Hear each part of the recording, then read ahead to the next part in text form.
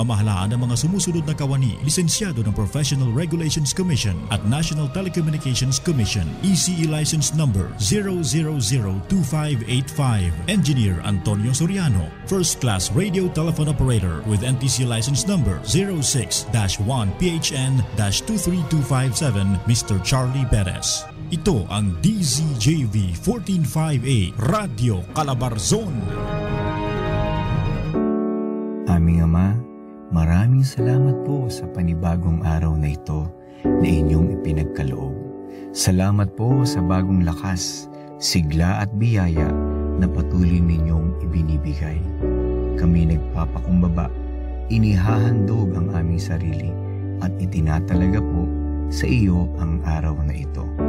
Dalangin po namin na kami maging daluyan ng buhay, paglilingkod, pagpapala, at liwanag sa nakararami. Turuan mo po kaming lalong manatili sa iyong salita at samahan po kami nang sa gayon higit na kami makaimpluensya ng katotohanan.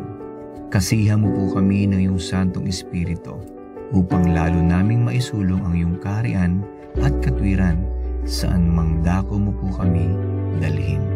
Punin mo po kami muli ng pagmamahal sa iyo sa aming pagsunod. Dumaloy ang pag-ibig mo sa pag-abot at paglilingkod namin sa aming kapwa. Tulungan po kaming maging matapat sa lahat ng aming kilos at salita at makita ang integridad sa lahat ng aming ginagawa. Ito po ang aming samot dalangin sa pangalan ng iyong bugtong na anak na si Jesus, ang aming Panginoon at tagapagligtas. Amen.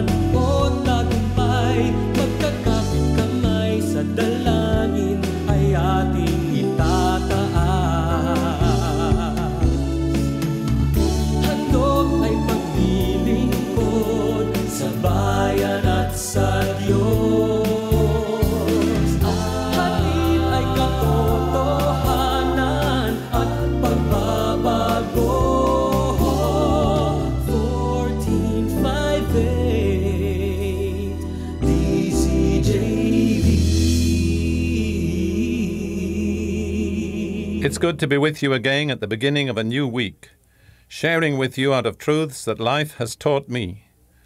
Truths that have made the difference between success and failure in my life and can do the same for you. This week I'm going to deal with the theme of claiming our inheritance. The charter of the Christian faith is the New Testament. When we use the word testament, we're using it in the same sense in which we have the phrase the last will and testament of so and so. In other words, by using that word, we imply that something has been bequeathed to us through the death of another. The New Testament tells us all that has been made available to us through the death of Jesus on our behalf. It reveals our inheritance. It reveals that we are heirs of a kingdom. But unfortunately, Many Christians have never yet discovered what their real inheritance is or how to gain it.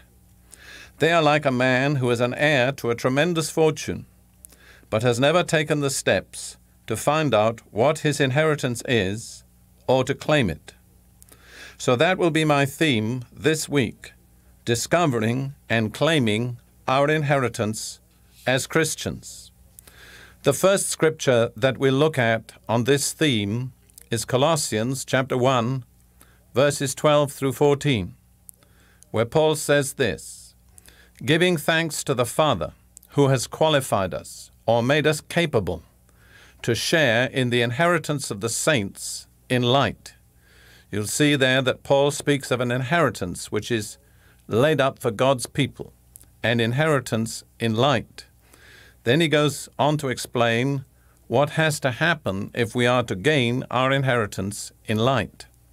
For he, that is God the Father, delivered us from the domain of darkness and transferred us to the kingdom of his beloved Son, in whom we have redemption, the forgiveness of sins. So Paul pictures here two kingdoms the kingdom of darkness, the kingdom of light. The kingdom of light is God's kingdom and the kingdom of Jesus Christ.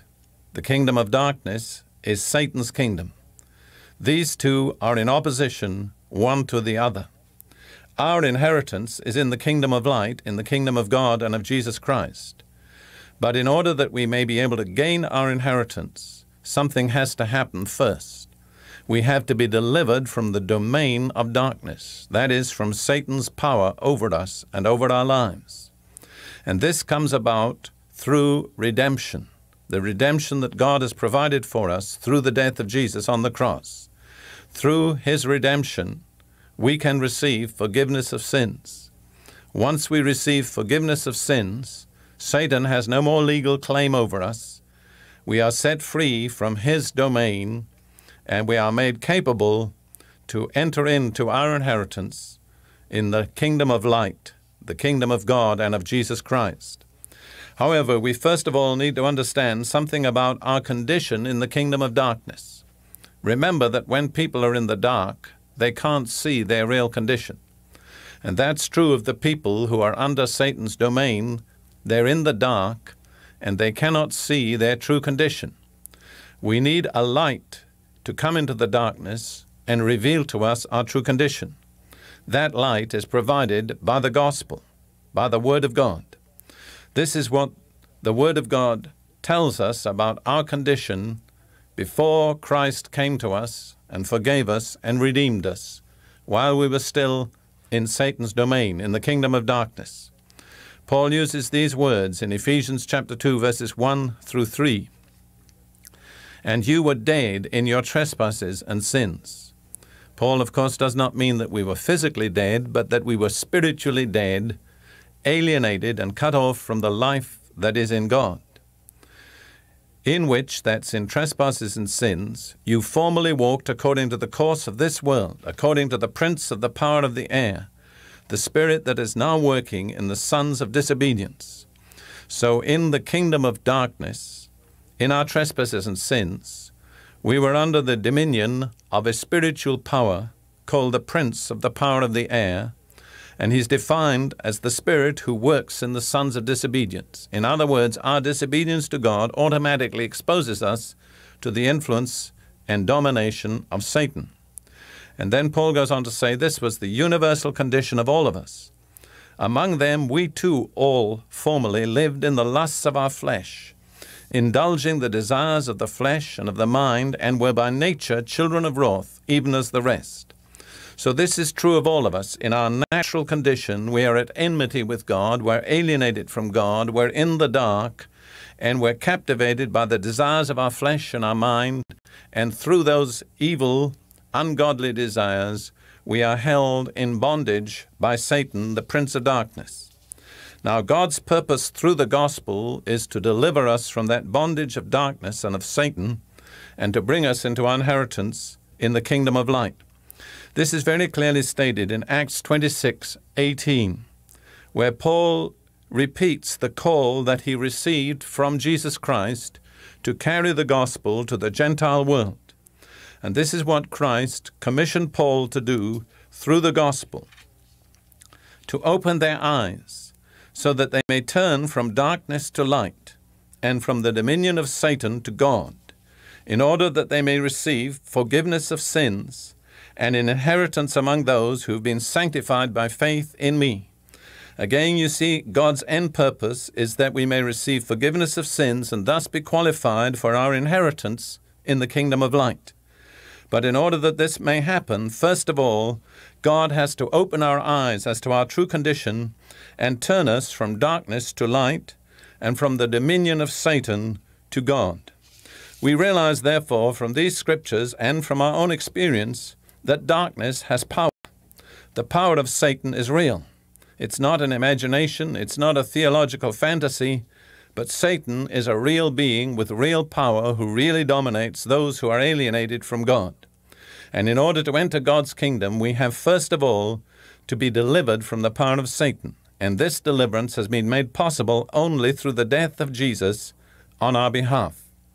Deliverance from the power of Satan comes through redemption. And redemption has been provided for us through the death of Jesus on our behalf. We need to understand more precisely the meaning of the word redemption. It comes from a verb to redeem. To redeem means to buy back or to ransom. An example would be if the son of a wealthy man were taken by kidnappers and they held him for ransom, and the wealthy man was willing to pay the ransom asked by the kidnappers, and thus his son was restored to him, we could say that the wealthy man, by paying the price, had redeemed his son from the kidnappers. Now, what Jesus has done is to pay the price to redeem us from the kingdom of Satan. In Romans 7:14, Paul says this, "We know that the law is spiritual, but I am unspiritual. Other translations say, I am carnal, sold as a slave to sin. Literally, the Greek there says, sold under sin. This is a figure taken from the Roman world. When a person was sold in the slave market in the Roman world, he was said to be sold under the spear because he was placed on a stand against a post and out of the post above his head there stuck forth a spear fastened to the post. And so the evidence that he was being sold as a slave was that he was being sold under this outstretched spear. What Paul is saying is that we, through our sin, were exposed as slaves in Satan's slave market. And the spear stretched out over our head that indicated we were for sale was the sin that we had committed. Now, when a person is sold as a slave, or was in ancient times, they had no choice as to what occupation they would have to do. Some people might be compelled to take quite respectable occupations like housekeepers or teachers or nurses, but others might be sold to very menial or immoral occupations like uh, the cleaner of a latrine or even a prostitute. The person who was a slave had no choice. It was simply the choice of the one who owned him. And so it is with us as sinners. We are all slaves of Satan by nature, but some of us are respectable sinners and some of us are less respectable sinners. But there is really no ultimate difference between the respectable and the non respectable sinners. Well, what happened when Jesus came to earth was that he walked into Satan's slave market, saw us there for sale, and paid the price to buy us out of Satan's dominion and out of Satan's slave market. The price that he paid was his precious blood. In Ephesians 1 7, Paul says, In him, Christ, we have redemption through his blood, the forgiveness of sins, according to the riches of God's grace.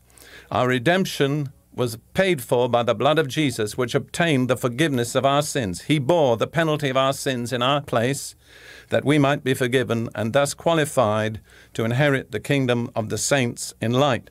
This is stated again in 1 Peter 1, verses 17 and 18, a very beautiful scripture.